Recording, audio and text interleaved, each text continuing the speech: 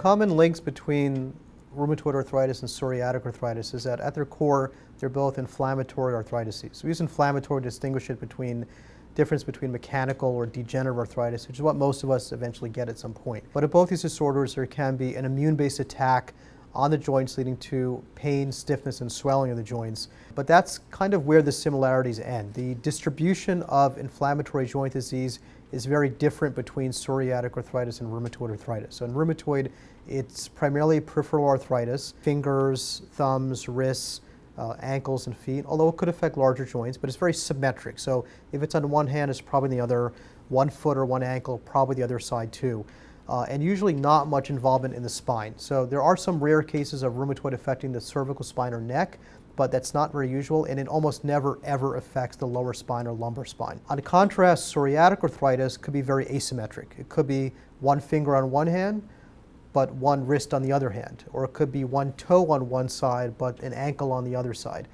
And unlike rheumatoid, which is primarily a joint inflammation of the actual joint itself, joint meaning where two bones meet together, Psoriatic arthritis can have other structures around the joint inflamed. So we call that the enthesis, which is the connection point between a tendon into the bone. Patients with psoriatic arthritis can get what's called enthesitis. Um, they could also get tendonitis, so recurrent ankle tendonitis, much more common in people with psoriatic arthritis. Inflammation of the soft tissues of the foot, Plantar fasciitis, more common in psoriatic arthritis. You wouldn't really see that in rheumatoid arthritis. And unlike rheumatoid, that doesn't usually affect the spine, the spine definitely could get involved in psoriatic arthritis. And particularly the lower spine called the sacroiliac joints, lumbar spine, these may be areas that we can image to give us a clue that if somebody has psoriasis and joint pain, is it connected to a whole body illness?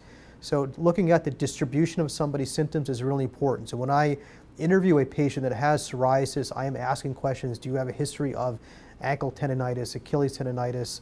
Uh, do you have what's called a sausage digit or uh, dactylitis? Has your finger or toe blown up like a sausage? I wouldn't ask that of rheumatoid arthritis because it's a different presentation.